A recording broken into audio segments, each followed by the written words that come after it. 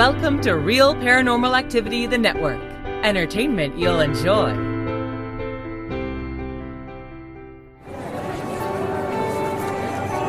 You are listening to an RPA production where people gather.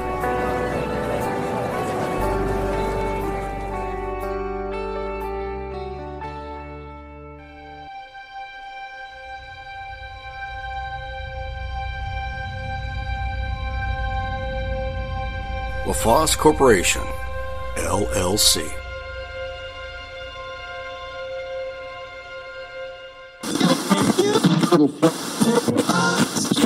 I believe and I know so strongly that we are beings that live in bodies, and bodies come and go, but you can't kill a soul. Growing up in Wisconsin was great. I just had a ton of freedom and I had a lot of space. We had a farm and we always had four or five horses, and I'm the last of three. And my dad and I just, we just kind of understood each other. And we also like to go and we like to do things, we like to be active.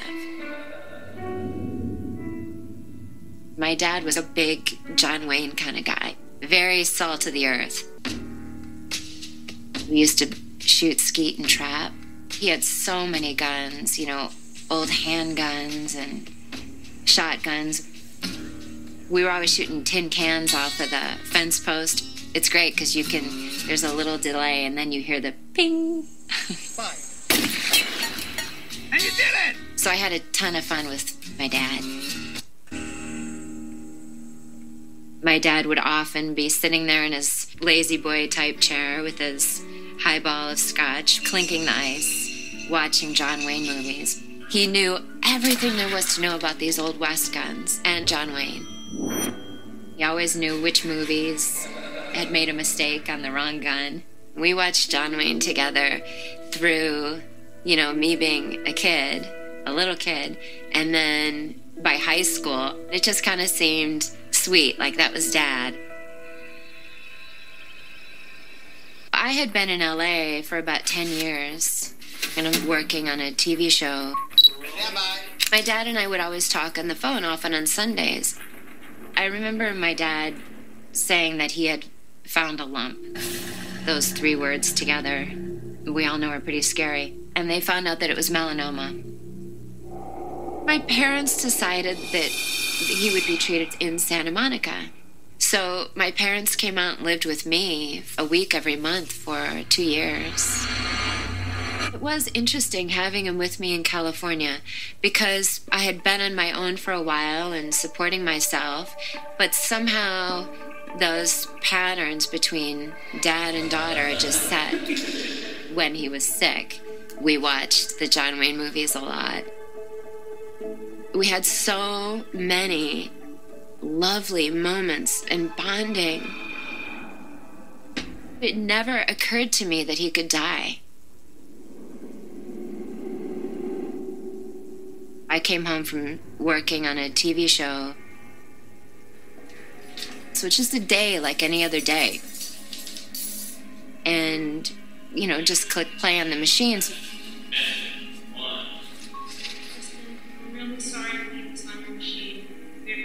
And there's a message that says, Hey, honey, I'm sorry to leave this on your machine. But your dad collapsed. And uh, he's in the hospital. And um, the cancer has spread to his brain, and we're not sure if he'll live till tomorrow.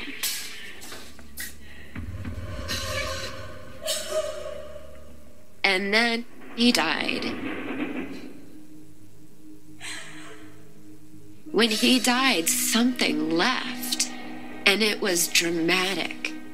My relationship to life had changed. I didn't like that we couldn't communicate anymore. I, it, know, I just hated being separate.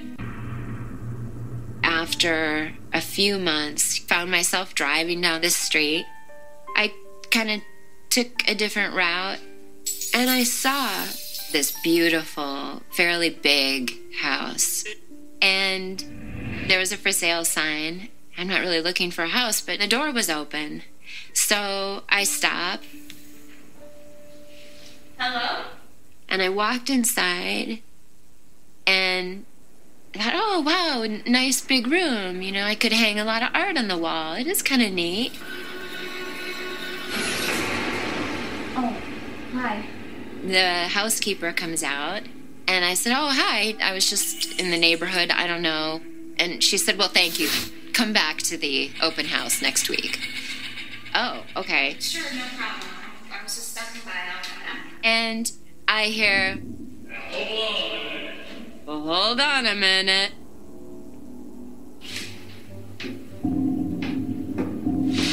Coming towards me. This big, huge figure. And he's got the swagger when he gets into the light. For one second, I'm thinking, I've truly lost my mind because that's John Wayne. And right when he walked in closer, the housekeeper introduces me to Michael Wayne. So it's John's son. And said, She wants to buy your house. and I'm like, I do. I do. It turns out that it was John Wayne and Josephine Wayne's house. Immediately Michael says, Oh, I'm not handling any of that. I go, Oh, okay, that's fine. I don't I don't even know this house. But I see a gun on the wall. And then we started talking about which movie that gun was in, a John Wayne movie. And I'm like, I know that movie. And we went back and we started talking about the searchers. And in a little bit of time, he goes,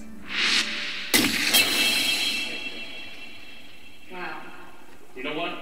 This house is yours. You can have it. You can have the house. And I said, Did I just buy a house? And he said, You did. Three weeks later, I picked up the keys to the new house, and then I started moving in. There was so much incredible coincidence and synchronicity about this house and my dad and John Wayne and Michael Wayne, and now I'm in this house. And it seemed to be also so ironic that the one person who would have appreciated it the most wasn't there. After moving to the house, I had this horrible insomnia, and I really had a massively hard time falling asleep before the sun would come up. And so at night, I'd always take baths. And I would sit in there and just keep running the hot water for hours, and I would talk to my dad.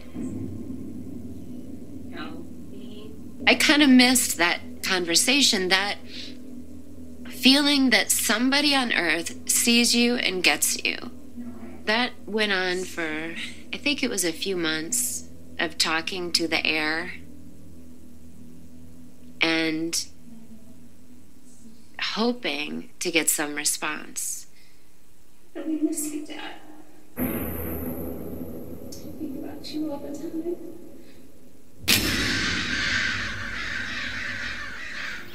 one day I was outside gardening just uh, like every day. And I would go until it got too dark to see. And then I would go around and make sure I hadn't left out any lawn tools. So I was out far back in the yard and I picked up stuff and I looked up at the house.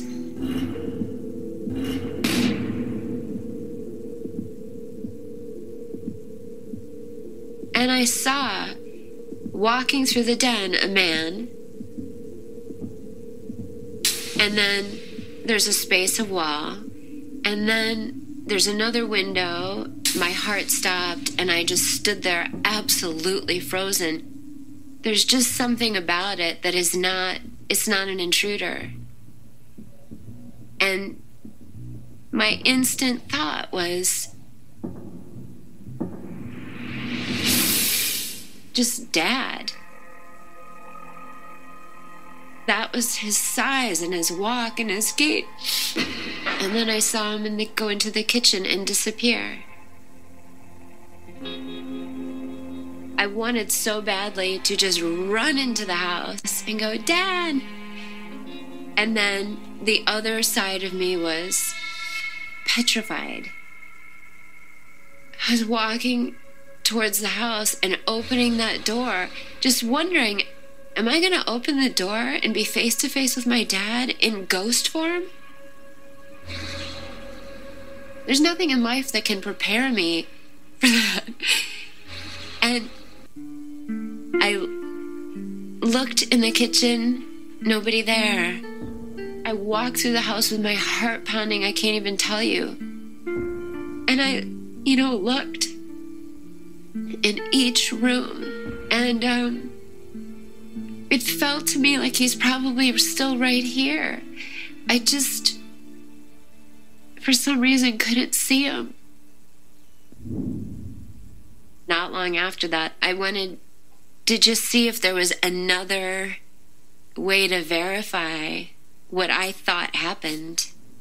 And somebody suggested the psychic. She was in an apartment on the second floor of this kind of rundown building. And so I went up there and I told her my dad died and I just wanted to know how he was.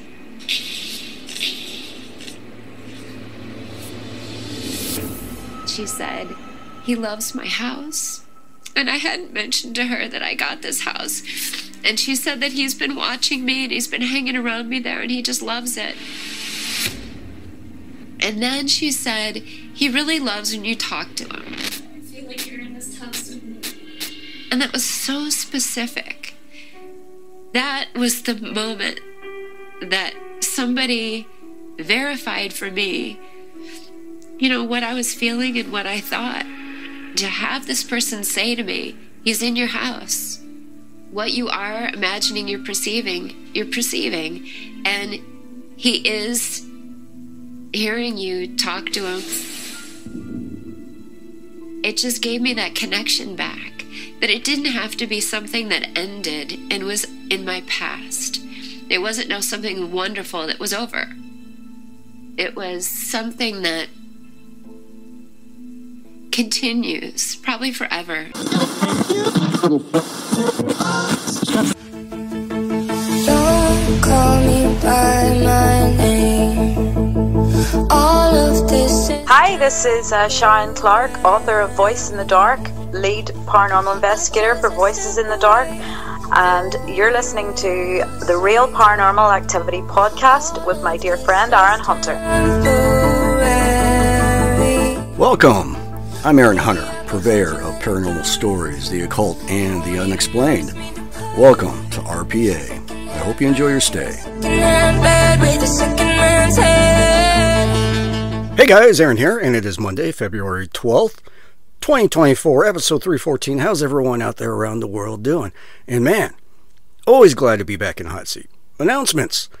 Yeah, there's not too much to announce. Everything's smooth going, nothing to complain about. Although, we had some nice weather over the weekend, you know, upper 50s, even hit 60. Uh, it didn't feel like winter, but guess what? A whole new uh, cold front came through uh, starting today, and looks like the East Coast is going to get hammered with snow. In the Northeast, though, they're going to get hammered. About a foot of snow overnight. Yeah, they just got hammered uh, about two weeks ago. I feel sorry for those guys. But yeah, no snow for us. A little bit more chilly. It's down into the upper 20s at night now. So yeah, it looks like the spring weather went away. But yeah, spring's on its way. And what else? Ah, yes, uh, tomorrow, Tuesday, is a brand new episode of Aaron's Horror Show with Mr. Aaron Frale. And also Wednesday, a brand new episode of Terry's Mysterious Moments will be coming out as well. And as always, Friday, two new short films will be released. And this past Friday, if you haven't checked it out, go to realparanormalactivity.com or use the free RPA app and check out the two new short films that were released. Yeah, they're great. You'll love them. Trust me. and so, with that, you guys know what that means. Oh, yeah, we're going to do more listener stories yet again. Even though we're getting a lot of uh, requests to do some interviews, I'm to stay away from interviews for uh, for a little while now, but I'll get back into it. I'm just really liking these listener stories, and we have a huge backlog, so uh, we're putting a good dent into it. And as far as you new guys out there, if you have uh, an experience you want to share, just send it to Aaron, A-A-R-O-N, at realparanormalactivity.com, and I'll read it off on a future episode. So yeah, let's get the show on the road, shall we? And you guys know what that means. Oh yeah, man, come on. Say it with me. That's right, say it with me. To, the story den. Follow me right this way. No pushing, no shoving, and the fires are still going. Nice and toasty in here. And you guys know the deal. Grab a beanbag over there in the corner, find an empty spot on the floor, and as you guys are doing that, I am, as usual, getting behind my desk here, getting comfy, and I printed off Britt's packet from the email. Thank you, Britt, if you're listening. And let's see what stories she picked out. All right. And then we got a small one, a medium one, and a large one. Let me take a sip of my green tea real quick. Mm hmm. Oh, man. So good when it hits the lips, I tell you. All right, the first one. This one is by Mandy, and it's titled Past Life Memories. Okay, Mandy, let's see what you got, man. My daughter, Sarah, now 16, has startled me with comments and remarks that make no sense in regards to what is currently happening in our lives. One that I remember clearly is this incident. We were in the car, and Sarah, aged three years old, sat in her car seat in the back and listened, entranced, to the song by Phil Collins, In the Air Tonight. Anyone who has heard him knows he has a very distinctive voice. As soon as the song was over, she promptly announced, Mama, did you know my voice sounded just like that a long time ago when I was a man? Remember, she was three when this happened, so I literally have no clue where it came from. She was hardly more than a toddler. So I just said, Okay, well, that's nice. Later that day, when I had a bit more time to process the information, I slowly brought up that subject again. She immediately said, Yes, I sounded like that man when I talked, but I didn't have time to sing. We were running too fast, and then Nanny fell down. Jack ran back to help her before the fire got her, but we didn't see them no more. We don't know a Nanny or a Jack. I was speechless for a moment before she continued. I don't know why them people were screaming so loud. The fire was behind us. Do you think maybe there was another fire up there with them? I agreed with her that maybe there were two fires and asked what happened to Nanny and Jack. She said, I told you already that I don't know. We didn't see them no more. She seemed a bit sad, so I shut my mouth and told her to go on and play. And later, when I peeked in at her, she was telling her pillow that she missed Jack. I did my best to distract her and never brought it up again, and neither has she. I don't know if she remembers it or not. I'm almost afraid to ask. And thanks for the weird and strange. And man, that's from Mandy. Mandy, thank you very much for sharing. I loved it. Yeah, this is one of my favorite uh, subject matters in the paranormal field is reincarnation. And there's very few stories about, you know, reincarnation, which in itself is kind of interesting. You would think it would be all over the place, right? Billions and billions and trillions of people have died. And uh, but you only get like a handful of stories of these children that are talking about things that they shouldn't have information about. But then again, you don't know who's writing these stories, if they're credible or not, if it's just made up. So, you know, that's the problem, too.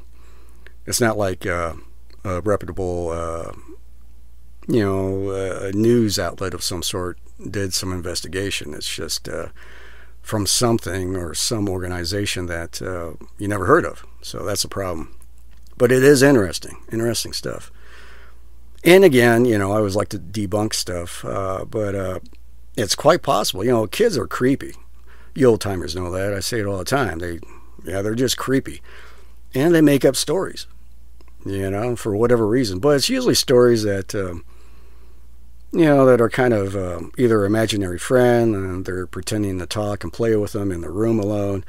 You know, it's just one of those things. And uh, but this seems a little bit more. Uh, oh, what's the word? More dark Looks like uh, in the past life, trying to escape a fire, Nanny and Jack got engulfed in it, or, well, they never saw him again. in that past life. So, yeah, kind of gruesome. Interesting, though. Yeah, Mandy, thank you very much for sharing. Yeah, it makes you it makes you think a little bit. Yeah, reincarnation. It's pretty cool stuff. All right, what's next? What do we got? This one is by Storm, and it's titled Liked to Annoy Him. Okay, Storm, let's see what you got, man. My maternal grandmother was a wonderful woman who I was very close to. She was smart, stubborn, and funny. Honestly, she could be a bit of a handful. I just loved her to pieces. Her and my father, however, did not get along quite so well, although they did have a genuine affection for each other. Their personalities didn't mix well, and they got on each other's nerves. Often I think she would intentionally bug him just for the sheer enjoyment of it. When my grandmother became ill with cancer, the family rallied around her, and when it became clear she would not recover, uh, family members began gathering at her home to say their goodbyes, assist with her care, and help her die peacefully and surrounded by loved ones. After she had passed, a few family members took small items from the home that brought them comfort. When you are deeply grieving, it can be strange what becomes meaningful to you. For my mother, it was a coffee mug and a small porcelain knickknack that had a motion detector in it, so that it would play You Are My Sunshine when activated. My grandmother had kept it in her small bathroom, positioned so it would play whenever someone would enter the room. As far as I can recollect, it always worked just as expected. When we returned home, my mother placed it in the window above her kitchen sink. That's when it started behaving erratically. Instead of being triggered by motion, it seemed to be triggered by certain activities. Arriving home, going to bed, getting up in the morning. It felt very much as if my grandmother was saying, Hello, good night, good morning, it became something we expected, and we'd even reply appropriately when it played its little tune. Hi, Grandma. Good night, Grandma. Love you, Grandma. One day, the little knickknack stopped working altogether. My mom was understandably very distressed by this, and my father responded by doing everything he could to try and fix the little gadget. He worked on it for quite some time, but eventually had to give up, uh, apologetic and quite frustrated. He put it back together and set it back in its place on the window. No sooner had he turned his back to walk away that the silly little thing started playing again. I know that someone more cynical than myself would chalk this up to coincidence and a cheap knickknack. Eh, maybe that's true. For us, though, we have no doubt it was my grandmother taking one last opportunity to push my father's buttons. Thank you. and that's from Storm. Storm loved it. Thank you very much for sharing. Yeah, it's a feel good story. Yeah, they uh, they rubbed each other wrong, but they really cared for each other. And uh, Grandma liked to, uh, you know, screw around with your dad. yeah, that's pretty cool. It wasn't uh, turning on by motion. You know, like you said, you guys would just be doing something, walking in, leaving, and it would just turn on by itself. Yeah. Yeah, it's a good story. I liked it. Yeah, thanks again. Hmm. Yeah, you have uh, you have stories like that all the time where uh, children's toys, right? They either don't have batteries in them or they do have batteries, but the batteries are dead. But you know, they would turn on in the middle of the night and uh, just wake up the uh, small children or wake you up in the middle of the night. Yeah, you know, we get those every once in a while where something electronic would just turn on by itself, you know, whether it's toys or TV or stereo, that sort of thing. Yeah. All right. What's next? What do we got? This one is by Riggs and it's titled Mother's Kiss. Okay, Riggs, let's see what you got, man. It was August 1981 when my telephone rang. It was my brother in law calling to tell me my 66 year old mother had been found down and unresponsive on her front lawn. An ambulance had taken her to the local hospital in Detroit, Michigan. Within an hour, a second call confirmed her death. I quickly made ready to travel, and in a few hours I was driving to Detroit from Washington, D.C. A John Denver tune played in my head. Uh, something about some days being diamond, others stone. Uh, this day was clearly stone, and I don't remember much about the trip. I think I drove all night. My younger brother had lived with her, a Vietnam War veteran. He stayed in her home partly out of convenience, partly to watch over her. It was he who discovered her in the front yard, then gave her CPR without success. I found him partially unhinged. I thought the experience had been too much, which seemed reasonable. The unexpected death of a loved one is indeed difficult. He faulted himself for not saving her, which added guilt to loss. It was not her death which had disturbed him so, though that clearly had a real impact on his emotional state. She's still here, he said. This is what troubled him so. I fully believed him. My mother was an exceptional psychic and deeply spiritual. A day or two before her passing, she called to tell me goodbye, though I did not know it at the time. Her conversation with me was a bit cryptic, and I found it frustrating. Her words became all too clear after her death. My mother had a behavior that had become her hallmark. She would stand at the kitchen sink doing dishes ever so slowly as she stared out the window, her mind in another place. We could hear the silverware being washed and dried, tinkling clicking and clattering. It took the longest to do for some reason, and I think she enjoyed it. Perhaps she found it relaxing. Many, many hours had passed this way in our house. That hallmark behavior was apparently still alive. Our bathroom shared a common wall with the kitchen, with that wall located just to the left of the kitchen sink.